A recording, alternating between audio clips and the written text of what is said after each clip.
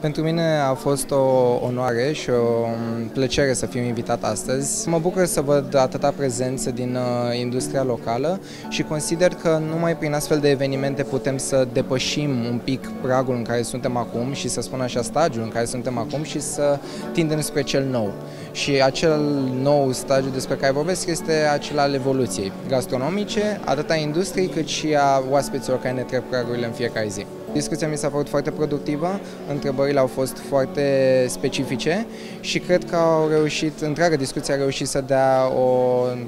o nouă imagine a ceea ce se întâmplă în, în industria de astăzi, cum au vorbit și colegii mei de, de scene despre stilul nou, stilul vechi, stilul actual și despre generațiile care se interpretând. Cred că ar trebui să discutăm foarte mult despre programele educaționale care există în țară, despre programele de stagiu care pot fi făcute în restaurante de afară, de unde copiii și nu doar copiii, toți putem să învățăm lucruri noi și să ne întoarcem cu ele acasă, unde împreună să construim România și să contribuim la Fundația Patrimoniului Gastronomiei Românesc, ceea ce am spus și mai devreme. Cred că acest lucru este esențial pentru România și ar trebui să fie nucleul care să dea naștere unei, unei scântei în cele din urmă.